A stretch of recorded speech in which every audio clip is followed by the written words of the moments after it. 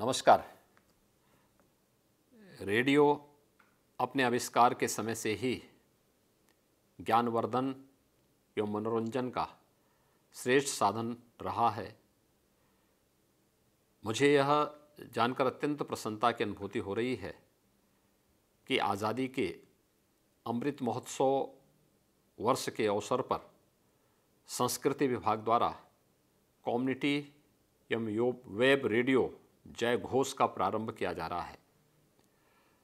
स्वतंत्रता के पिचहत्तर गौरवशाली वर्ष पूर्ण होने के उपलक्ष्य में 12 मार्च 2021 से देश आज़ादी का अमृत महोत्सव मना रहा है। माननीय प्रधानमंत्री जी के कर कमलों से शुभारंभ किए गए आज़ादी का अमृत महोत्सव कार्यक्रम के अंतर्गत संस्कृति विभाग द्वारा अनेक प्रकार के विशिष्ट आयोजन निरंतर किए जा रहे हैं।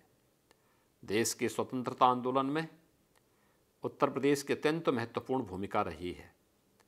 सन अठारह सौ सत्तावन के प्रथम स्वातंत्र समर की प्रथम चिंगारी मेरठ से ही प्रस्फुटित हुई थी और प्रदेश ने ही प्रथम स्वतंत्रता संग्राम का नेतृत्व किया।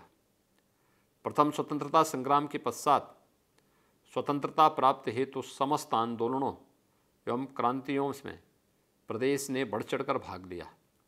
प्रदेश के समस्त जनपदों में आज़ादी के असंख्य नायकों एवं घटनाओं की गाथाएँ प्रचलित हैं।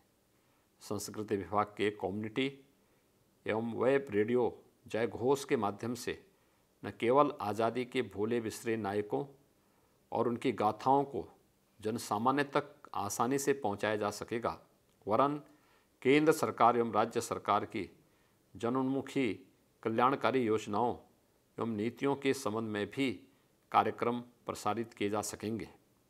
मुझे पूर्ण विश्वास है, जय घोष रेडियो, प्रदेश की समृद्ध सांस्कृतिक विरासत से जुड़ी जानकारियों तथा सरकार की बात को जनसामान्य तक पहुँचाने का एक सशक्त माध्यम के रूप में स्थापित हो सकेगा।